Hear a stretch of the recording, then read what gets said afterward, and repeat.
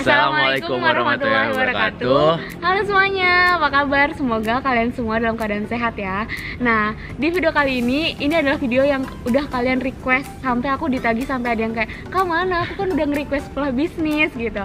Oke, hari ini aku menghadirkan narasumber. Nama aku Firman, asal dari Pekalongan. Dulu masuk IPB tahun 2015 dengan jalurnya undangan dari raport SMA waktu itu. Nah, buat apalagi kak moto hidup, hidup. itu jadi bermanfaat bagi yang lain jadi Hmm. walaupun di mana pun kita kita harus bisa memberi dampak positif bagi lingkungan sekitar kita kayak gitu Hmm. terus hobi aku itu hobinya traveling jadi suka jalan-jalan ke mana-mana suka gitu. mengeksplor ya. Jadi kita itu dulu satu uh, UKM, Iya. satu organisasi. Jadi kita satu organisasi, satu divisi. Makanya kita kenal dan pas kalian request ke uh, sekolah bisnis, sebenarnya aku udah udah tahu nih, oh udah gampang nih hubungin Firman. Masalahnya adalah menentukan waktunya iya itu nggak gitu. tepat-tepat terus Hmm, kita karena dia juga habis exchange kan lama di luar negeri gitu. Jadi aku waktu itu nunggu dia pulang. Nah pas dia pulang terus kayak nyusun Skripsi ya, gitu-gitu. skripsi dan Aduh. nyusun jadwalnya Iya. susah gitu. Oke, uh, Man, sebenarnya sekolah bisnis itu jurusan apa sih man? Kenapa disebutnya sekolah bisnis? Kalau misal aku nih kan jelas ya, maksudnya ya kamu juga jelas sih. Cuma jurusan teknologi pangan. Nah kalau ini jurusan sekolah bisnis kan nggak kayak gitu kan? Tapi disebutnya langsung sekolah bisnis. Itu kenapa dan gimana sih? Gitu. Sebenarnya kita dari fakultasnya namanya sekolah bisnis, lalu ada prodinya tuh bisnis. Nah, kenapa namanya sekolah bisnis? Karena kita emang dari awal dari outputnya sendiri, motonya dari sekolah bisnis itu creating new entrepreneurs and new ventures. So, jadi kita di sini benar-benar dididik dari awal kalau kita tuh ya jadi entrepreneur kayak gitu. Bedanya kita kalau pelajaran mata kuliah kayak gitu kita lebih aplikasinya bukan ke teori yang terlalu teori banget saklek gitu kita lebih banyak tentang uh, practical approach kayak gitu Oke, berarti itu kali yang membedakan sekolah bisnis dengan manajemen mungkin Iya, ya. mungkin. Karena banyak juga nih mana ada yang nanya, kak bedanya sekolah bisnis sama manajemen itu apa gitu. Dan eh, untuk informasi, jadi sekolah bisnis ini adalah jurusan yang baru. Angkatan pertamanya itu Firman. iya angkatan pertama Angkatan 2000 berapa tadi? 15. 2015. Jadi sekarang udah ada 5 atau 6 lima. ada iya ada lima Lima. angkatan gitu. Dan letaknya juga beda. Kalau misal kalian sekolah bisnis itu kan nggak ada di tiganya ya langsung Iya. S1 ya. Jadi kalau S1 sekolah bisnis itu di kota ya di IPB kota eh di Bogor kota. Kalau- sama stasiun enak Iya, dekat ke mana-mana. terus juga dekat sama eh, gedung atau sekolah yang D3 ya Iya. sekolah vokasinya. Dan sama pasca sarjana yang di eh, kota juga namanya daerah Barenang Siang ya. Tapi kalau misal S1 yang lainnya itu semuanya ada di Dramaga. Jadi di Bogor tapi eh, enggak kotanya gitu uniknya kita bisa nikmatin dua kampus karena kita pertama kan wajib asrama sampai PKU kan di Dramaga Jadi kita satu tahun ya di satu tahun ya? di Dramaga dulu nanti Mm-mm. tahun kedua baru pindah ke kota jadi kita bisa nikmatin dua kampus gitu. Iya gitu. Dan em, gedung sekolah bisnis memang terkenal berbeda ya, nggak kayak yang di Dramaga. Jadi dia karena baru dan memang lebih modern, fasilitasnya lebih bagus, lebih enak dan eh, ini sih yang paling aku aksesibilitasnya Iya. bagus banget gitu. Kalian mau ke mana-mana mudah. Di sini itu banyak sekali akses eh, yang memudahkan mahasiswanya untuk belajar. Untuk kayak mau belajar sampai malam, ada wifi, ada ruang belajar, terus ruang diskusi semuanya itu terbuka sampai malam. Jadi kayak kampus-kampus di luar negeri. Kalau di IPB Dramaga itu jam 9 aja perpustakaan tuh udah tutup. Eh, paling kalau sampai malam tuh lebih ke kayak kegiatan organisasi ya, karena bukan ruangan yang untuk belajar-belajar gitu. Jadi makanya bedanya mungkin itu kalau ya. Dramaga perpus buka minggu kak Eh, perpus nggak buka minggu, cuma kalau Sabtu. di sini buka minggu sampai jam 2 Hmm, siang. kan. Kalau di yang IPB yang sana yang Dramaga itu bukanya cuma sampai Sabtu dan itu pun Sabtunya itu hanya sampai jam 4 nggak sampai jam 9 gitu. Gitu. Jadi kamu bisa nikmatin dua kampus ya. Kan Firman ini kan sekolah bisnis angkatan 1 kenapa bisa milih sekolah bisnis waktu itu? Karena kan lucu gitu. Kayak nanti kalau masuk jadi angkatan pertama nih gitu. Apa nggak ngerasa ah nanti coba-coba nih gitu sebenarnya waktu awal juga masih bingung. Dan tahu sekolah bisnis pun kayak nggak sengaja juga kak. Yang pertama Hmm, kayak dulu waktu zaman aku SMA kita lagi hitsnya pakai Twitter kan. Mm-mm. jadi aku kayak main Twitter terus. Nah Mm-mm. pas itu waktu ada Oke Zone dari Oke Zone buat Mm-mm. berita IPB buka sekolah bisnis baru Mm-mm. waktu waktu itu emang aku minat banget waktu lulus SMA mau cari ekonomi atau manajemen atau lain sebagainya yang jurusan kayak gitu kan Iya. kan dulu aku IPA terus pengen masuk yang bidang yang bidang, itu. ekonomi Ah, gitu Oke, terus akhirnya lihat Oke Zone kok buka sekolah bisnis IPB baru aku buka tuh Mm-mm. akhirnya kayak kayak ada rasa yang nangkep gitu di hati nggak Oh, ngerti iya, kenapa iya. gitu Pasti ada feeling sih Iya. sebenarnya pasti ada feeling segala sesuatu tuh kayak kamu memutuskan sesuatu kayaknya oh bakal di sini nih. terus akhirnya aku kepoin tuh di webnya Hmm. di webnya IPB ada webnya SB juga ternyata akhirnya aku lihat-lihat kok kayaknya menarik nih buat Hmm. jadi pilihan di SNPTN karena kan Hmm. itu angkatan pertama jurusan baru otomatis juga belum banyak yang tahu kan dari sekeliling Indonesia Raya ini Mm-mm, jadi kemungkinan masuk juga sangat besar waktu itu aku mikirnya kayak gitu mm-mm. Akhirnya Iya sih, buat bener. SNPTN karena SNPTN kan keberuntungan banget kan cari peluang yang di mana kalau kita Iya, bisa masuk ya udah karena peluang ya. Iya karena itu tanpa tes dan kita punya privilege gitu Mm-mm. langsung masuk aja gitu makanya aku milih sekolah bisnis Oke. Terus eh, setelah masuk nih, apakah realitanya sesuai dengan ekspektasi atau gimana? iya melebihi ekspektasi ya, malah kayak melebihi ya. Iya kayak sih, oh pasti. bagus banget ternyata kayak gitu Mm-mm. karena karena kita sebelum ada S1 pun udah ada S2 sama S3 jadi fasilitas semua segala kelengkapan dosen juga udah udah eh, bagus banget pokoknya deh nggak nggak kalah deh pokoknya kita juga pernah diajar di sini ada kayak wakil menteri ekonomi zamannya Pak SBY kak jadi dia Hmm. ngajarnya enak banget Wow.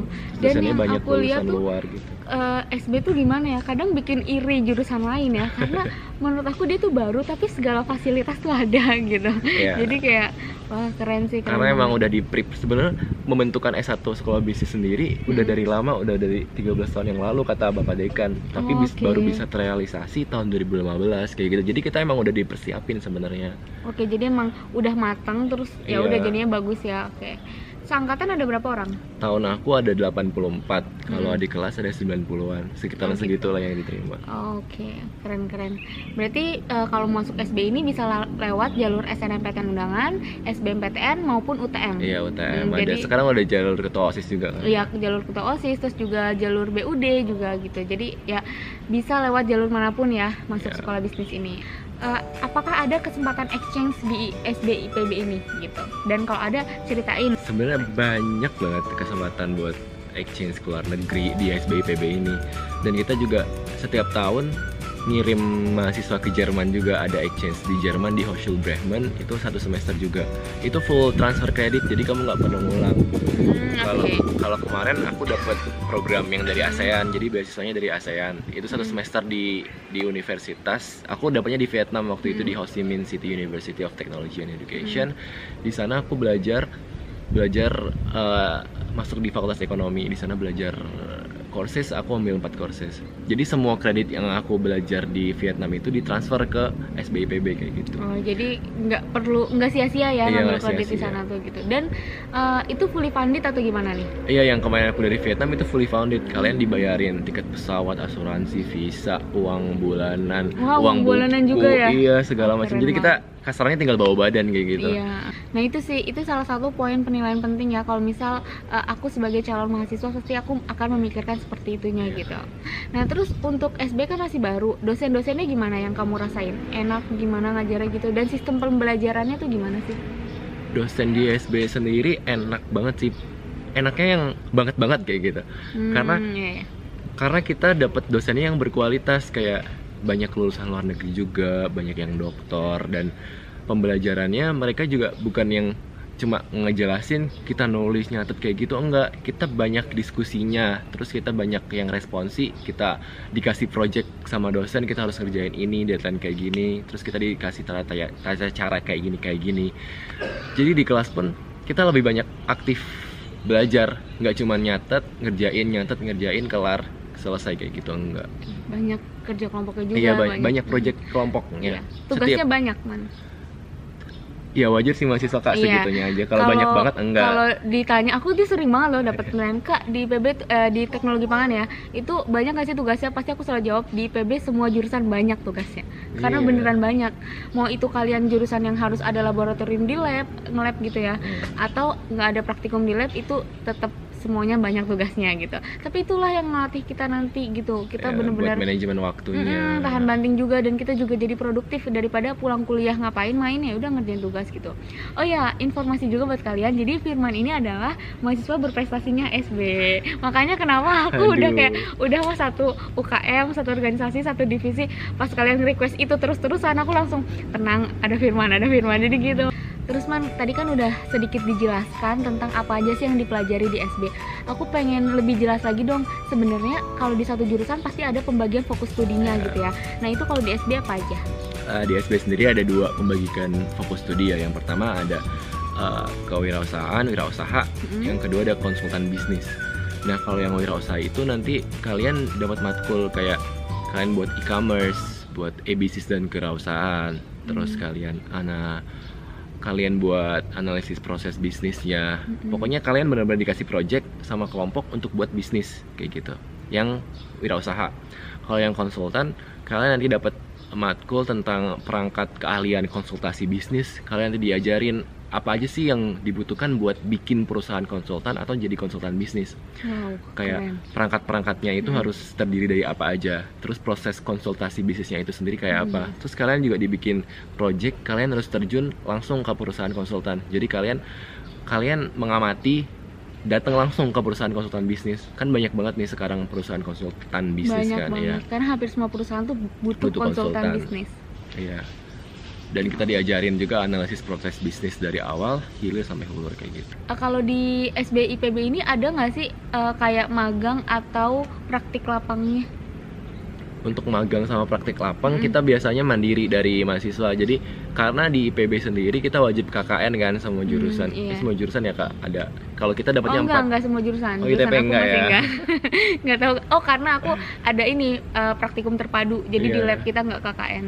Kita ambil KKN 4 SKS jadi Hmm. nggak ada internship yang masuk ke transkrip kita jadi kalau mau ngelaksanain magang itu magang pribadi kayak kita dia join aja kayak gitu tapi, Tapi- banyak informasi juga kan dari dosen kemarin juga sempat ada seleksi buat Iya. magang di eh, anak perusahaannya Garuda gitu Tapi kayaknya nggak magang pun kamu kan banyak tugas yang langsung ke Iya. konsultannya kayak gitu kan. Jadi bener-bener eh, praktik untuk menerapkan ilmunya tuh banyak gitu. Kalau peluang karir gimana nih kalau di SB? Sebenarnya kita dari awal emang Hmm. dididik buat jadi wirausaha bukan karyawan sih kak ya. Mm-mm. Karena creating new entrepreneurs and new ventures kayak gitu. Oh, Tapi oke. kalaupun kita mau terjun motonya ke iya Bagus. Aku suka. yang bikin Pak Arif. Oh iya, Iya. keren-keren. kalaupun kita mau Hmm, kerja kita hmm. bisa jadi bagian manajemennya, finansial. Karena kita belajar keuangan juga, kita belajar pemasaran, kita belajar sumber daya. Jadi kita ya ngerti. Insya Allah kita masih ngerti kok tentang tentang hal-hal kayak gitu. Jadi bisa kalau kalian mau ke Iya. industri, ke perusahaan bisa. Kalau kalian mau uh, jadi entrepreneur itu lebih bisa lagi. Iya. Uh, ini nih, ada nggak sih quotes penutup untuk adik-adik yang mau masuk SB? Intinya kalau kalian punya mimpi harus dikejar terus. Kalau misal kalian jatuh, kalian harus harus bangkit lagi. Dan Allah itu udah tahu mana yang terbaik buat kalian dan kapan kalian dapat waktu yang terbaik untuk mendapatkan suatu hal itu. Ya. Jadi kalau kalian gagal jangan takut, mungkin Allah ada plan lain buat kalian yang lebih bagus buat kalian. Karena yang menurut kalian bagus itu belum tentu menurut Allah itu bagus kayak gitu. Pokoknya dia jangan berusaha, jangan berhenti berusaha Iya. ya gitu ya. Nanti insya Allah hasil terbaik tuh akan datang gitu. Wah, oke Firman, makasih banyak atas waktunya, sukses selalu. Ini Firman tuh lagi mau nunggu wisuda ya? Iya, Iya. lagi ngurus SKL. lagi ngurus SKL udah sidang alhamdulillah udah tenang ya man ya gitu Eh, boleh dong kasih sedikit gambaran ke depannya mau kayak mana man setelah lulus Rencananya tuh aku pengen banget ngambil S2 langsung Kak Mm-mm. sebenarnya.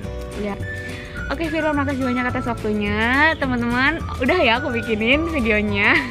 Jangan lupa untuk like video ini dan juga subscribe Untuk mendukung channel ini agar terus berkembang. Kami mohon maaf kalau misal ada kata-kata yang salah ataupun kekurangan di video ini. Tolong ambil baiknya, buang buruknya Semoga bermanfaat. Terima kasih banyak udah nonton. Sampai jumpa di video selanjutnya. Dah. Dadah. Assalamualaikum warahmatullahi wabarakatuh